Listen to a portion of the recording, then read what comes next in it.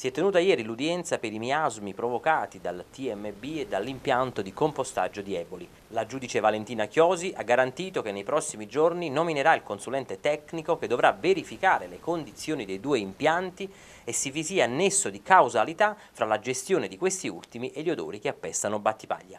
Presenti all'udienza i membri di Legambiente Battipaglia.